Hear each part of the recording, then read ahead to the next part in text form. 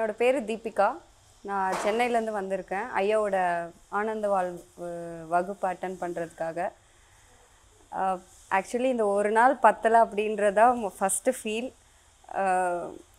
ஐயா சொன்னது எல்லாமே எடுத்துக்கிட்டோமானா அது வந்து ப்ராசஸ் பண்ணுறதுக்கே எனக்கு டைம் ஆகுது ஆக்சுவலி இன்னொரு ஒரு கிளாஸ் பண்ணணும். இன்னும் என்னோட அண்டர்ஸ்டாண்டிங்க்கு நான் சொல்கிறேன் அண்டு வந்ததுலேருந்தே கலகலகலன்னு இருந்துச்சு. ஐயாவோட கருத்துக்களை தாண்டி ரொம்ப மகிழ்ச்சியாக ஐயா வந்து கருத்து மட்டுமே நமக்கு சொல்லாமல் எல்லாருமே அப்படியே ஒரு ஒரு ஹாப்பினஸ்ஸாக வச்சுருந்தாரு. ஸோ என்ன இன்னி இன்னைக்கு ஒன் டே கிளாஸில் அப்படின்னா நம்ம வெளியில் நிறையா விஷயம் வேறு எங்கெங்கோ ஏதோ ஒரு புரிதலை வச்சு நம்ம இருந்திருப்போம். ஆனால் சரியான ஒரு புரிதல் உயிர்னா என்ன மனம்னா என்ன நாம் நாம் யார் கடவுள்னா என்ன அப்படிங்கிற ஒரு தெளிவான ஒரு புரிதல் வந்து ஐயா கிட்ட இருந்து இன்னைக்கு வந்துச்சு. என்ன சொல்கிறது ரொம்ப சந்தோஷமாக இருக்குது இந்த கிளாஸ் வந்து ரொம்ப நாளாக அட்டன் பண்ணணுன்ட்டு நான் போஸ்ட்போன் பண்ணிகிட்டே இருந்தேன். பட் இப்போ வந்து எப்படியாச்சும் இந்த டைம் பண்ணிடணும். ஏன்னா அம்மாவும் அண்ணாவும் சொல்லிகிட்டே இருந்தாங்க. சரி அட்டன் பண்ண அட்டன் பண்ணன்ட்டு. அதுக்கான ஒரு இது இன்றைக்கி இந்த டைம் நான் அமைச்சிக்கிட்டேன். ஐயாவுக்கு ரொம்ப நன்றி. ரொம்ப நாளாக ஏதோ ஒன்று நம்ம தேடிட்டு இருந்தோம்.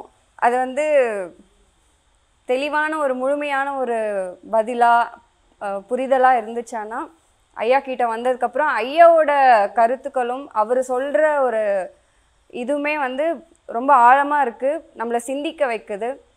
அதே மாதிரி ஐயா சொல்கிறத அப்படியே எடுத்துக்கணும்னும் இல்லை. நம்மளை அவர் சொல்கிற கருத்தையும் இன்னும் நம்ம சிந்திக்கணும் அப்படிங்கிற ஒரு புரிதலும் இருக்குது ஐயாக்கு நன்றி. அவ்வளோதான்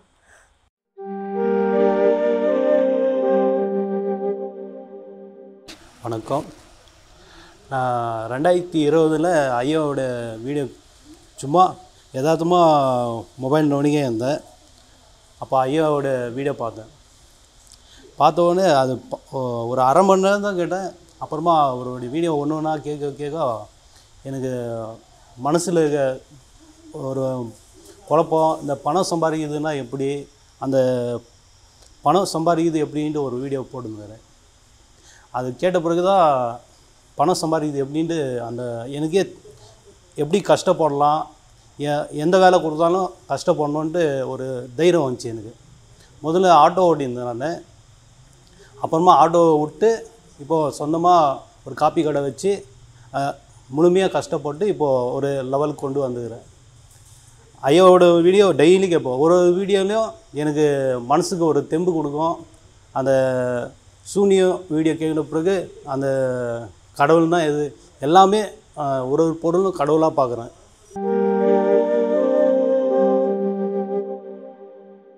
வணக்கம். என் பேர் செந்தில்குமார். நான் பெசன் நகர் ஓடகப்புறத்துலேருந்து வரேன் இவர் வீடியோ எங்கே ஃபஸ்ட்டு பார்த்தோன்னா கடனில் இருந்து மீள்வது எப்படி அப்படின்ற வீடியோ தான் ஃபஸ்ட்டு பார்த்தேன். பளிச்சு பளிச்சு நச்ச மாதிரி இருந்தது. அப்புறம் இப்போது தொண்ணூறு பர்சன்ட் கடன்லேருந்து வெளில வந்துட்டேன். அடுத்தது என்னென்னா அதுக்கப்புறம் இன்னொரு வீடியோ ஒரு உண்மையாக கரெக்டான ஒரு நல்ல மனுஷன்தானா அப்படின்னு ஆராய்ச்சி பண்ணி தான் உள்ளே வந்தேன். அப்போது நானும் தெய்வமாகலான்னு ஒரு வீடியோவில் நாற்பத்தொம்போதாவது நிமிஷம் அழுவார் இவர். அப்போ தான் விழுந்துட்டேன். இதுதான் தான் சரியான ஆள் ஏன்னா ஒரு மனுஷனுக்கு கண்ணீர் வரனாலே அவன் அனுபவித்து ஃபீல் பண்ணி வெளில வந்தால் தான் வருமே அதில் தான் ரைட்டு கரெக்டான ஆளை தான் சூஸ் பண்ணியிருக்கோம் அப்படின்ட்டு. அப்புறம் ஒரு ரெண்டு தடவை சத்சங்கம் வந்தேன். அப்புறம் இந்த கோர்ஸு வரணும்னு சொல்லும்போது சரி ஆனந்த வாழ்வு. உண்மையிலே டாபிக் ஏற்ற மாதிரியே அது ஆனந்த வாழ்வு தான். அது மாதிரி கும்மி கும்மி அடிக்கிற மாதிரி தான் அந்த வா எல்லாமே நடந்தது. எனக்கு என்னென்னா மெயினு எனக்கு மற்றவங்க மாதிரி கடன் பிரச்சனை கூட அவ்வளோ இது இல்லை ஆனால் கஷ்டம் கொடுத்தது. எனக்கு சாப்பாடு விஷயத்தில் கை வச்சாங்கன்னா எனக்கு பிடிக்காது. எங்கள் எனக்கு வந்து வீசிங் வரும். ஆனால் அதில் வந்து என்னென்னா எங்கள் அம்மா எங்கள் அப்பா வந்து சின்ன வயசில் மாட்டுக்கறியில் தான் பிரியாணி வாங்கி கொடுப்பாங்க. இல்லை மாட்டுக்கறி தான் தொக்கு மூணு ரூபா அஞ்சு ரூபாய்க்கு அப்போவே தொண்ணூற்றி ரெண்டு தொண்ணூத்தொன்னில் வாங்கி கொடுப்பாங்க. ஆனால் சாப்பிட்டு வீட்டுக்குள்ளே வரணும்னா தண்ணி தெளிச்சிட்டு உள்ளே வரணும் என்னடா சாப்பிட்டு வயிற்றுக்குள்ளே தான் இருக்குது.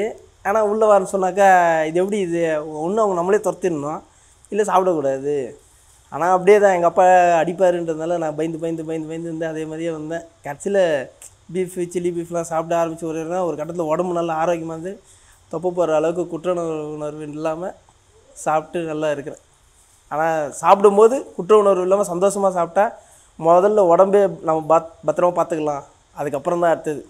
உடம்பு பத்திரமா பார்த்துக்கினாலே தானாகவே எண்ணமும் கரெக்டாக வரும். அப்படின்றது எல்லாமே இப்போ புரிஞ்சு புரிய ஒன்று ஒன்றா இவர் எல்லாமே புரிய வைக்கிறாரு புரிய வச்சிட்டாரு. நன்றி.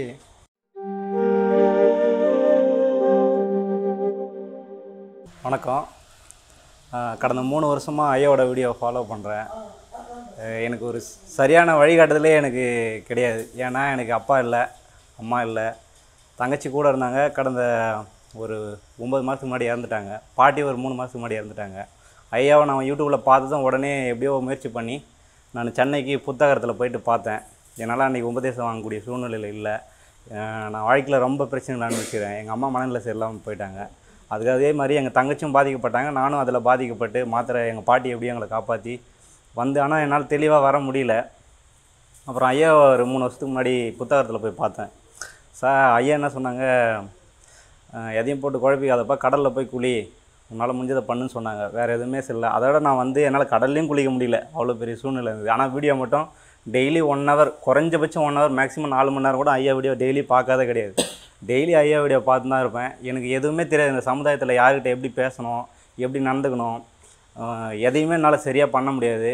இந்த உலகத்தில் யாருமே என்னை மனசார நல்லா இருன்னு சொல்கிறாங்களாம் எனக்கு தெரியாது. ஐயா ஒவ்வொரு வீடியோ பேசி முடிக்கும் போது நல்லா இரு நல்லா இருன்னு சொல்லும்போது என்ன தான் சொல்கிறாரு எனக்காக ஒரு மனுஷன் அங்கே இருக்கார். அவர் தான் அப்படின்னு நினைப்பேன். அவர் தந்தை தந்தை அன்னைக்கு தந்தையை பற்றி ஐயா சொல்லியிருந்தாங்க. உன்னை யா நீ யார் நல்லா இருக்கணும் உன் நீ நினைக்கிறாங்களோ அவங்க எல்லாமே தந்தை தான் அப்படின்னு சொல்லிட்டு சொல்லியிருப்பாங்க தந்தை தினத்தில். அன்னைக்கு ஐயாவை தந்தையாக பார்த்தேன். அன்னையிலேருந்து எதுவாக இருந்தாலும் என்ன சொல்கிறதுனே தெரில நான் ஒரு எதுவுமே எனக்கு தெரியாது. இன்றைக்கி நான் என் என் தங்கச்சி இறந்ததை நான் வேறு முன்னாடி இருந்த ஒரு தர்மராஜா இருந்தேன்னா இந்த மாதிரி நான் டேக்கல்டி பண்ணி வந்திருக்க மாட்டேன். ஐயாவோட வீடியோவை தினமும் நான் ஃபாலோ பண்ணி வந்ததுனால என் தங்கச்சியோட இறப்பை கூட என்னால் சாதாரணமாக ஹேண்டில் பண்ண முடிஞ்சது. யாருமே அன்றைக்கி எனக்கு உதவுறதுக்கு இல்லை. என் தங்கச்சி வந்து சூசைட் பண்ணினாங்க. அவங்களும் மனநல பிரச்சனை இருந்ததுனால அன்னைய சூழ்நிலை யாருமே வரல. எனக்கு உதவி பண்ண நான் ஒரு ஆளாக நின்று அவங்கள போஸ்ட்மார்ட்டம் பண்ணணும்னு சொல்லிட்டாங்க.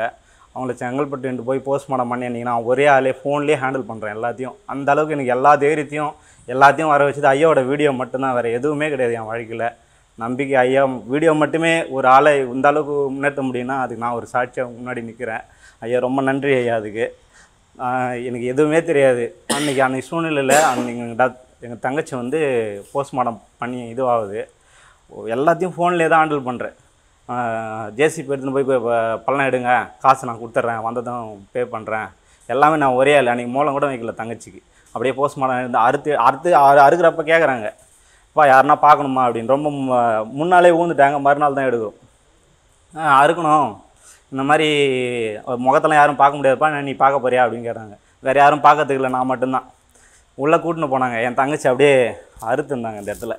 அதை பார்க்கக்கூடிய தைரியம்லாம் என்னால் முன்னாடி மாதிரி இருந்திருந்தேன்னா நான் இன்னும் மனநல பிரச்சனையில் இருந்தேன் இல்லையா? இன்னும் போய் செத்தே போயிருப்பேன். அதுக்கு எல்லாத்தையும் தாங்கக்கூடிய தைரியம் ஐயாவுடைய ஒவ்வொரு வார்த்தையில் இருந்து தான் எனக்கு கிடச்சிது. அதுதான் என்னை இன்னி வரைக்கும் நடத்தின்னு இருக்குது. அதுக்கப்புறம் அது அந்த விஷயம் முடிஞ்சதும் சரி பரவாயில்ல. என்னால் ஐயாவையும் வந்து பார்க்க முடியாத சூழ்நிலை. வ- பொருளாதார ரீதியில் வந்து நான் ரொம்ப கஷ்டமாக இருந்தேன். உபதேசம் வாங்க முடியாது ஆனந்த வாழ்வு அட்டன் பண்ண முடியாது. இருந்து பைசா இருந்தது. இருந்தாலும் தங்கச்சி பாட்டி விட்டுட்டு ஐயாவண்ட போய் சேரவும் முடியல. அந்த மாதிரி நிறைய சூழ்நிலையில் இருந்தேன். எவ பார்த்தீங்கன்னா அப்புறம் சரி பரவாயில்ல வாழ்க்கை எப்படின்னா ரன் பண்ணிடலாம் அப்படின்னு சொல்லிட்டு எனக்கு இப்போ எனக்கு எந்த ஒரு வாழ்க்கையை பற்றி கவலையுமே இல்லை. எனக்கு எங்கே போனாலும் எல்லாரையும் என்னால் அணுக முடியுது. எல்லாரையும் தெளிவாக பார்க்க முடியுது. இவங்கன்னா என் ஐயா மாதிரி ஐயா எவ்வளோ சின்ன வயசுலேருந்து கஷ்டப்பட்டு வந்தாங்கன்னு எனக்கு இது அவரோட வீடியோவில் பேசும்போது நான் அனுபவிச்சிருக்கிறேன். அவர் இந்த மாதிரி ரயில்வே ஒர்க்கில் கஷ்டப்பட்டு வந்ததும் அந்த மாதிரி ஐயா மாதிரியே இல்லைன்னா கூட அவர் அவர் வாழ்க்கையில் உணர்ந்ததெல்லாம் தான் நானும் உணர்ந்திருக்கிறேன். கஷ்டத்தை அதனால தான் ஐயா வந்து அந்தந்த மனிதர்களுக்கு ஏற்ற மாதிரி பதில் கொடுக்குறாரு. அந்த அளவுக்கு நானும் என்னோட கஷ்டம் எல்லா சூழ்நிலையும் எல்லாரையும் பார்த்ததுனால ஐயாவோட தெளிவான அந்த விளக்கத்தினால என்னாலையும் எல்லாரையும் அணுக முடியுது. ஐயாவோட வீடியோ மட்டும்தான் இன்றைக்கி இன்றைக்கி இவங்க முன்னாடி பேசவும் சமுதாயத்தில் என்னாலையும் வாழ முடியும் அப்படின்ற நம்பிக்கை கொடுத்துருக்குது. அதுக்கப்புறம் எங்கள் பாட்டி ஒரு மூணு மாதத்துக்கு முன்னாடி இறந்துட்டாங்க. அதுக்கும் ஒன்றும் கவலைப்படல. தங்கச்சிக்கு செய்ய முடியல. பாட்டிக்கு எங்கெங்கேயோ பிரட்டி ஒரு இருபதாயிரம் ஆயாவை நல்லா வெகு சிறப்பாக எடுத்து போட்டேன். ஊர்லேயே எல்லாரும் பெருமைப்படுற அளவுக்கு. அந்த அளவுக்கு தைரியமாக செய்ய முடிஞ்சதுன்னா அதுக்கு எல்லாமே ஐயாவோட பேச்சு மட்டும்தான் ஐயாவோட அந்த கருத்துக்கள் மட்டும்தான் என்னை இன்றைக்கி ஆளாக இங்கே நிற்க வச்சுக்குது. வேறு எதுவுமே எனக்கு வாழ்க்கையில் நம்பிக்கையே இல்லாத இருந்தேன். உண்மையிலே ஐயாவை மட்டும்தான் நான் எவ்வளோ நினைப்பேன். நம்ம என்ன செய்ய போகிறோம் ஐயாவுக்குன்னு. நம்மளால் முடிஞ்சதானே வாங்கி பார்சல் கூட அனுப்பலான்னு நினைப்பேன். சரி அதுவும் ஒரு சில நேரத்தில் முடியாது. என்ன செய்கிறதுனே எனக்கே தெ அந்த மாதிரி என்னால் எதனா செய்யணும்னு நினைப்பேன். சரி பரவாயில்ல ஐயா நல்லா இருக்கணும் அவ்வளோதான் ஒரு மூணு மாதத்துக்கு முன்னாடி பார்த்தீங்கன்னா ஐயா வந்து அப்படியே கனவில் வந்தாங்க. அப்படியே பிரகாசம் முகலாம் வந்து ரொம்ப ரெட்டாக வந்து அப்படியே அழகாக காய்ச்சி கொடுத்தாங்க. அது மெய்யா பொய்யா எனக்கு தெரியாது. என் எனக்கு அந்த அனுபவம் கிடச்சிது. ஆனால் அது தான் பாட்டி இறந்ததுக்கப்புறம் தான் அது நடந்தது. ஒரு ரீசெண்டாக பரவாயில்ல ஐயா நம்ம கூட இருக்கிறாங்க ரொம்ப சந்தோஷம் நம்மளுக்கு அப்படின்னு சொல்லிட்டு எதுவாக இருந்தாலும் எனக்கு இப்போது எந்த டவுட்டுமே இல்லை. ஐயாவோட எல்லா வீடியோவும் பார்த்துட்டேன். இப்போ நீங்கள் பார்த்தீங்கன்னா நிறைய வீடியோ பிளாக்ல போட்டு வச்சுருப்பாங்க. அந்த ப்ராப்ளம் இஷ்யூ வந்ததுனால. அதனால் பார்க்க முடியாதுன்னு சொல்லிட்டு சில நேரத்தில் நானும் நான் அந்த வீடியோ எல்லாமே பார்த்துரு பார்த்துருக்கேன். அதனால் எனக்கு ஒவ்வொன்றும் ஒவ்வொன்றோட லிங்க் ஆகிருக்கும் ஐயா நிறைய சொல்லியிருக்காங்க. ஐயாவுக்கு ரொம்ப நன்றி. ஐயா மட்டும் இல்லைன்னா நான் இன்றைக்கி முன்னாடி இல்லை. நன்றி.